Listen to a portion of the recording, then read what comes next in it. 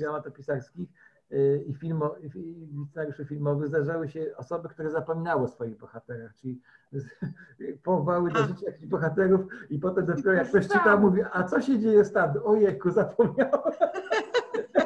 Czyli ktoś powołał do życia jakąś postać i kompletnie ją tam y, zgubił po drodze.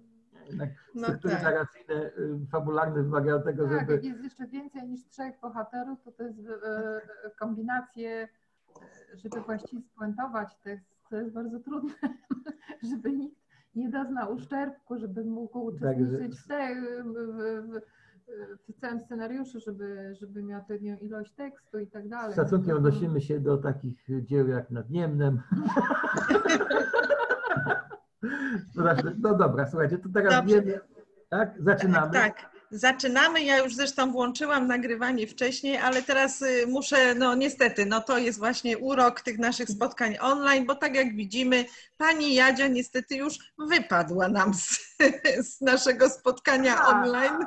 Już ją wyrzuciło niestety z, z, z połączenia, czyli wracamy do wersji, która była wcześniej, wobec tego, no niestety. Udostępniam już pulpit, tak, i zaczynamy drugą część w takim razie Ćwiczymy. i ćwiczymy. Tak jest. Bez przerywania spróbujmy. Próbujemy bez przerywania. Uwaga, Dobrze. akcja. No chodźcie, chodźcie dalej. Gdzieś musimy się schować. Betty, uważaj na gałęzie. Ale czy na pewno nie będzie nas widać? Mam pomysł, posmarujmy się błotem. Lili, ubieraj psa. Już się robi. Betty, chodź tu. Pospieszcie się, słyszę konie. Lili, czy pies jest już gotowy? Nie mogę dopiąć kubraczka. Oj, ściśnij mocniej psa. Postaraj się. Bądźcie wreszcie cicho. Uwaga, widzę coś. To chyba koń na George'u, to znaczy George na koniu. Nie, nie, nie, to nie on. Dobrze, że Peggy nie wyskoczyła. Przygotuj się, Lili. Teraz to George. Widzę go. No, Peggy, ruszaj. Bierz George'a. Ale gdzie ona biegnie? Pomyliła kierunki. Zepsuje nam cały plan. George skręcił tuż przed dołem. To jakiś koszmar. George pogalopował w głąb lasu. Całą noc kopałyśmy ten dół. A on sobie nie wpadł. Jest moja Peggy. Ognała w las. A za nią George. Żywy oczywiście. I co my powiemy Agacie? A kiedy ona przyjeżdża? Jutro wieczorem na pogrzeb George'a. Tak zaplanowałyśmy. Ale George żyje. No właśnie. Jest ciało. Właściwie trudno powiedzieć. Jak to trudno powiedzieć? Agato, y, usiądź. Musimy porozmawiać. Ja nie chcę rozmawiać. Ja chcę zobaczyć. George, ty żyjesz? Tak, Agato. Żyję i czuję się znakomicie. To świetnie, George. To taka wielka przyjemność widzieć cię w dobrym zdrowiu. Bardzo się starałyśmy, żeby George się nie nudził. I chyba nam się udało. Tak, to wam się zdecydowanie udało. Bez dwóch zdań. Tak, ale ostatnia przygoda była bardzo niebezpieczna. No właśnie, było jakieś zamieszanie. Coś tam słyszałyśmy z daleka w lesie, gdy szukałyśmy Peggy. Tak, uciekła nam biedactwo. i bardzo zmęczona dotarła do nas wieczorem. Bałam się o jej życie. Chyba nie jest przyzwyczajona do udziału w polowaniu. Ale to Peggy. Ten mały piesek o odważnym sercu uratował mi życie. George, jak dobrze, że żyjesz. Jednak. Jak się cieszę, że Peggy ocaliła George'a. Bardzo, bardzo się Bardzo cieszymy. cieszymy, tak. Peggy to najdzielniejszy pies na świecie. George, opowiedz nam wszystko od początku. To fascynujące. Mm, No, Tak, tak, prosimy. opowiedz. Nasz Peggy też słucha. Dobrze, dobrze. Galopowałem za lisem, gdy nagle spod końskich kup, kopyt wysnęła Peggy. Wytrysnę.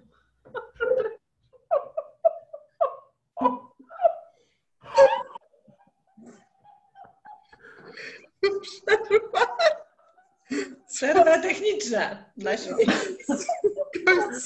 Spójrz dalej. Spójrz dalej, poczekaj. Kto to napisał? Wytrysnęła. Że kubku było, z No, Ale to jest dobre.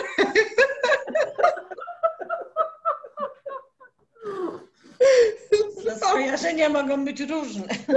To od razu Państwu powiem, skąd się To, to był, było. to była pomyłka w tekście, bo wyprysnęła. No.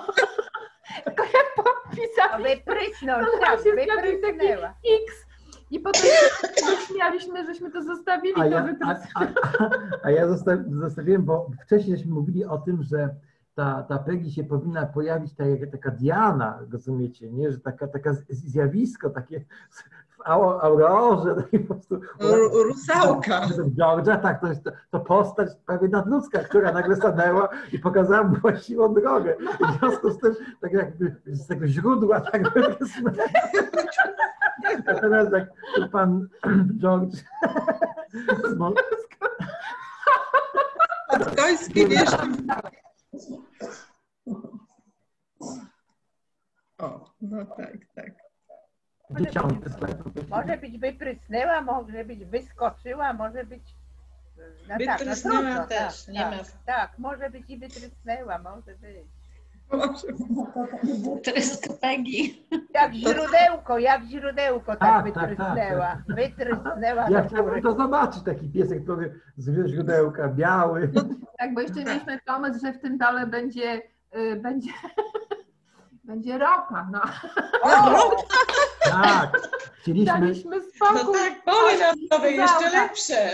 I, no, ale właśnie, żeśmy zastanawiali się, bo tak miało być pierwotnie, że, że on natrafi na złoża ropy, ale potem zastanawialiśmy się po prostu, że to tak trochę nie da się nam spuentować, że, no bo to jednak wymaga jakiegoś procesu Nadzoru. zamiany na pieniądze, a złoto od razu już jest. Tak, no tak. Wiecie, nie? A teraz ktoś jak będzie słuchał tego, a przecież tak to zawsze zakładamy, to pomyśli sobie, Boże, zanim oni tam założą te rafinerie, to, Szyby jakieś. o, to, a złoto od razu. No tak. Westernowa sytuacja. Ma grupkę złota i zmienia mu się życie, nie? Mój Konkret. dziesiąty slajd prze, przegadać. To co, cofamy, czy tu jeszcze Nie, raz? Idziemy dalej, No dalej. nie dam rady jeszcze raz. Pani i tak na początku naszego dzisiejszego dnia zapowiadałem, że będziemy dwa razy nagrywali w sensie spotkania, więc myślę, że to się tłumaczy. Dobrze. Dobrze. Wlokła za sobą jakieś gałęzie czy szmaty, no i nie mogła szybko biec. No i prawie wpadła pod końskie kopyta. To straszne. Biedactwo. Ale właśnie to biedactwo spłoszyło mojego Orfeusza, który skręcił w ostatniej chwili przed głębokim dołem. Mógłbyś tam wpaść. Niestety. No właśnie, dzięki Peggy tak się nie stało. Wyobraźcie, jacyś wstrętni i głupi ludzie wykopali ten dół. Och, zaraz tam wstrętnie. Może to niewinni turyści? Musiało być ich kilku, albo byli głupi i przeoczyli takie znalezisko. Znalezisko? Coś znalazłeś w tym dole, George? Co to takiego? Właściwie to nie ja, to Hipolit. Jest świetnym geologiem. Hipolicie, opowiedz paniom, co znalazłeś na dnie dołu. Złoto. Najprawdziwsze złoto. Te niepozorne kawałki skał na dnie dołu okazały się krótkami złota. Panie Hipolicie, jest pan nieoceniony. George, gratulujemy Ci odkrycia. George, jak to się dzieje, że tyle skarbów odkrywasz co dzień? To naprawdę niespotykana umiejętność. Ale to dzięki wam. Odkąd przyjechałyście, przydarzają mi się takie cudowne przygody. Co chwila coś nowego. Dziękuję, że przyjechałyście. Ależ to drobiazg, George. To przypadek. Przecież niczego nie zrobiłyśmy. To samo się przydarza. Takie niesłychane zbiegi okoliczności.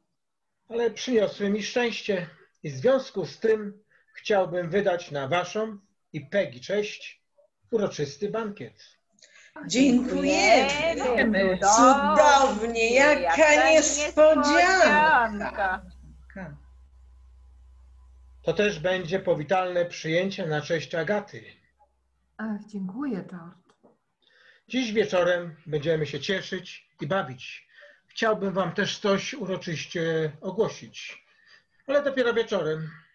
Do zobaczenia. O, bardzo się cieszę, że widzę wszystkich. Ciebie, mamusiu, kochaną żonę i jej cudowne przyjaciółki. Witaj też mój wierny Hipolicie i ty, najdzielniejszy i najmądrzejszy piesku na świecie. Szlachetna Peggy. Znacie już wszyscy, znacie już wszyscy bohaterski czyn Peggy. Tak, tak. Dzielny Dzielny pies, dzielny pies. pies, tak. Tak, tak. No właśnie z tym wydarzeniem chciałbym zmienić mój testament. Mm. Ależ George, to taki poważny temat. Dzisiaj mieliśmy się cieszyć i bawić. Agato, chciałbym to uroczyście ogłosić, a dzisiejszy dzień jest idealny. W takim razie słuchajmy. Tak, słuchamy, słuchamy. Tak, czekamy. Chciałbym ogłosić, że krokodyle, którym chciałem zapisać cały mój majątek, bardzo mnie rozczarowały. Bardzo. Rzuciły się na mnie. Prawie zginąłem w ich paszczach. Na szczęście tego dnia miałem mocny głos po balsamiku mamusi. Dlatego cały majątek zapisuję mojej ukochanej Peggy. Mm. To Peggy? Psu majątek? Przecież to niemożliwe. Ja uważam, że to bardzo szlachetne i takie romantyczne. Co tu takiego romantycznego? Krokodyle, te cudowne zwierzęta nie dostaną nic? Zupełnie nic? Nic. Wszystko dziedziczy pies Peggy. Ale przecież Peggy nie da sobie rady w zarządzaniu majątkiem. Gdyby oczywiście miała taką okazję, George. No właśnie, coś może się stać takiemu małemu i delikatnemu pieskowi, prawda? Tak. Oczywiście. Tyle jest chorób. Macie rację. Przewidziałem to w moim zapisie. Zarządcą majątku Peggy No, No, Tak, mm, tak, Powinna być linka. no tak. tak. Bardzo dziękuję za zaufanie. Ale gdyby coś się stało, Lili, Mm. Ojej, opiekę nad majątkiem przejmuje Dolores. O, A, rozumiem. A gdyby Dolores uległa jakiemuś wypadkowi, no na przykład spadła ze schodów, to wtedy wyznaczyłem Oliwię jako zarządcę majątku Peggy. Będę się starać, George. Ale oczywiście wszyscy jesteśmy śmiertelni. To też gdyby Oliwia nagle straciła życie, to po niej świetną rolę w zarządcy byłaby Helen. Ha, To jak bajka łańcuszkowa. A po mnie to. No, oczywiście Lucy. Już nie mogę się doczekać. Zawsze bardzo lubiłam Peggy. I pieniądze. A gdyby zły los spotkał Lucy, yy, zadanie przejmuje Christine. Nie mogę się dowiedzieć. Mogę się nie doczekać. Wszystkie jesteście w świetnej formie. Tym bardziej, że będziemy bardzo o siebie dbać i o swoje bezpieczeństwo. No dobrze. Ty, Wiolu, jesteś ostatnia na liście. Czyż to nie piękny testament? Tak, George. Zwłaszcza, że jesteśmy przyjaciółkami. Na śmierć i życie. No brawo, proszę Państwa, przebrnęliśmy. E, Myślę, że za tydzień wracamy do tematu. E, Ponieważ to już będzie finał naszego słuchowiska, to chciałbym też, żebyście Państwo, jeśli to jest tak, każdy we własnym zakresie, jakby obok e, laptopa, smartfona czy tableta był kieliszeczek, może nie być z szampanem, ale może być jakąś wodą mineralną na przykład, żebyśmy postukali prawdziwymi kieliszkami w chwili, kiedy jest bankiecik i w ten sposób też odbędziemy własny finał bankietowy, żeby te dźwięki były takie prawdziwe. Ale chciałem też Państwu teraz powiedzieć na, na, na zakończenie dzisiejszego warsztatu, że nie bez powodu e, pokazaliśmy na pierwszych dwóch slajdach takie sceny bajkowe, bo teraz mamy taki plan, żebyśmy po zakończeniu już historii z Dordem e, weszli w świat bajek. Ale ponieważ tutaj nie chcemy e, myśleć o odbiorcy dziecku, tylko warsztat, który by kształtował sposób mówienia e, językiem e, bajki, ale chciałbym, żeby to był taki scenariusz, e, jakby z tyłu teatru się dzieje, albo jak, jakby, jakby ktoś wszedł, nie chcę powiedzieć, że to jest bajka do dorosłych, bo to wie- wieloznacznie zabrzmi, ale jakby ktoś wszedł na sesję nagraniową wśród ludzi dorosłych, którzy ćwiczą sobie, czy trenują na przykład scenariusz na, na kanwie najprostszej bajki Czerwonego Kapturka. I scenariusz będzie opowiadał o tym, jak, e, jak doskonalimy ten warsztat, wcielając się w postaci bajkowe. Czyli byłby taki teatr w teatrze, ale też napisanym scenariuszem, żebyśmy mogli po prostu potrenować sobie mówienie po prostu y, może też rytmem trochę mm, takim właśnie zbliżonym do, do rymowanych tekstów jako fragmenty, bo tak naprawdę to jest opowieść o próbie. Tak? To jest jakby z tyłu, z tyłu e, teatru, no są takie teraz doświadczenia teatralne już wielokrotnie i takie, takie coś zrobili, ale fragmenty, które będą utkane w tym scenariuszu, który chcielibyśmy już za dwa tygodnie, jeśli, jeśli się spotkamy, popróbować. Być może na, na jednym spotkaniu to zrobimy, także nie, nie, nie, nie sądzę, żeby to przechodziło z, spotkanie e, z tygodnia na, na tydzień, to spróbujemy sobie po prostu poczarować głosem w taki sposób, który się może przydać do nagrań e, adresowanych dla dzieci. Czyli nasze słuchowisko nie jest adresowane dla dzieci, ale warsztatowo jego fragmenty będziemy doskonalić y, właśnie poprzez udział fragmentów, elementów bajkowych. Dobrze? Dziękujemy, czyli za, za tydzień y, dogrywamy George'a. George'a, kończymy Wchodzimy a potem jeszcze bardziej okrutną historię o wilku, który chciał. Co się dopiero będzie działo? Kto zagra wilka? Kto zagra wilka? Ja najmocniej przepraszam, że, że tak się stało. U mnie jest taki słaby zasięg, że zerwało po prostu No. połączenie. Ale pani Jadwigo, za się- tydzień pani będzie. Będę, będę na 100%. super. tak, w Super. domu już na miejscu. Przepraszam Dobrze, to najmocniej. będziemy Dziękuję za zastępstwo. Madzie. Wszystkim serdecznie dziękuję za udział w dzisiejszym spotkaniu. Pani Grażyna Dziękuję. Bardzo dziękujemy również. No i cóż, nie będziemy przedłużać. Serdecznie dziękujemy. Zapraszamy za tydzień o tej samej porze, czyli o godzinie 13 e, i będziemy tak, tak. dalej. Serdecznie, serdecznie dziękujemy. Do widzenia. Do zobaczenia. Do zobaczenia. Okej.